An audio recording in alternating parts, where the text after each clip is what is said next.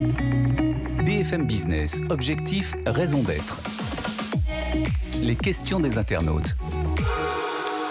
Et nous sommes ravis d'accueillir ma consoeur Rebecca Blanc-Lelouch pour les questions des internautes. Et on commence avec Julia.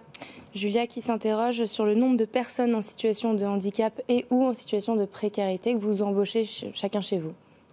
Nous, chez Maeva, c'est 3% aujourd'hui et on a une politique d'intégration et de diversité qui est, qui est, affirmée sur le sujet pour accompagner euh, les personnes qui le souhaitent dans cette, dans cette démarche. Parce que je crois que la loi Copé-Zimmermann, c'est 6%, non? À l'échelle, euh, oui, oui euh, je n'ai pas la statistique de, de, la loi, sans doute. Et vous Oui, chez nous, chez Explore, on a déjà réalisé euh, une embauche d'une personne en situation de handicap et on travaille surtout, euh, parce qu'on a encore une toute petite équipe, mais on travaille surtout à rendre nos aventures accessibles euh, pour, pour ces personnes-là. Et ça, c'est vachement dur. donc évidemment, on ne peut pas leur rendre accessible tout le catalogue, mais on essaie de choisir deux ou trois expériences qu'elles pourraient bien sûr faire. Eh bien, vous nous devancez, c'est la question de Sherazade. C'était la question suivante de Sherazade, voilà, qui demande quels sont les dispositifs qui sont dédiés aux personnes en situation de handicap dans les hébergements de vos sites. Aujourd'hui, on a une qualification du catalogue pour euh, identifier les offres accessibles aux équipes à mobilier, aux, vacanciers à mobilité réduite. On sait qu'au-delà de la qualification, il y a un vrai parcours de réservation bien spécifique à, imaginer.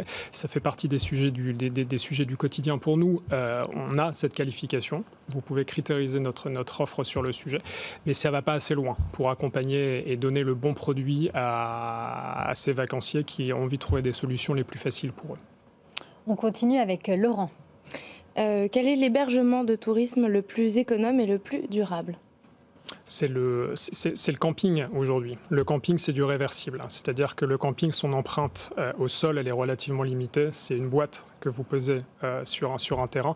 Et à, à, l'échelle de vie du camping, vous pouvez rendre les choses à la nature. Il y a certes une piscine, mais l'empreinte de construction est bien, bien inférieure à une résidence de tourisme ou à un hôtel aujourd'hui. La question continue avec Benjamin. Songez-vous à répertorier uniquement les hébergements green comme c'est la spécialité sur certains sites? Alors, je ne suis pas certain de comprendre la question. Est-ce que ça va être le seul facteur de développement pour Maeva?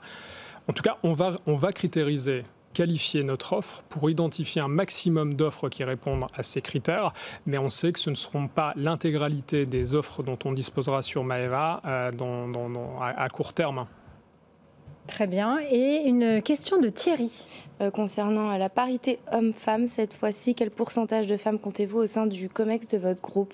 Est-ce que vous le connaissez? Alors du COMEX du groupe, il y a une femme sur, euh, sur 10 aujourd'hui. Le COMEX du groupe Pierre Vacances Center Parks, on sait qu'on a des efforts, euh, des efforts à faire. Au comité de direction de Maeva, c'est 2 sur 7 aujourd'hui. Et chez vous Chez nous, c'est au, COMEX, c'est une sur 5. et après, dans la boîte, plutôt quasiment 80% de femmes. Donc là, on est effectivement euh, sur parité. Bah, merci beaucoup. Merci beaucoup euh, Rebecca, merci beaucoup à, mes, à, tous mes invités, Nicolas Bourrin, Stanislas Gruot et Nicolas Imbert. C'était très intéressant. C'est une émission très intéressante. J'espère que ça vous a plu. Merci infiniment d'être venu sur le plateau et de nous faire un petit coucou depuis Nouméa. Pour ma part, je vous donne rendez-vous la semaine prochaine à la même heure. D'ici là, prenez soin de vous. Bye bye. BFM Business. Objectif, raison d'être. Les entreprises face aux défis de la RSE.